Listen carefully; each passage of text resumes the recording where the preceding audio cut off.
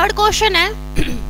The product of ages of Ankit and Nikita is twenty Ankit और निकिता की उम्र का गुणनफल 240 है. If twice the age of Nikita यदि निकिता की उम्र का दुगना अंकित की उम्र से चार साल अधिक है. Is more than Ankit age by four years what is Nikita's age तो आपा की पंजाबी बोलेगी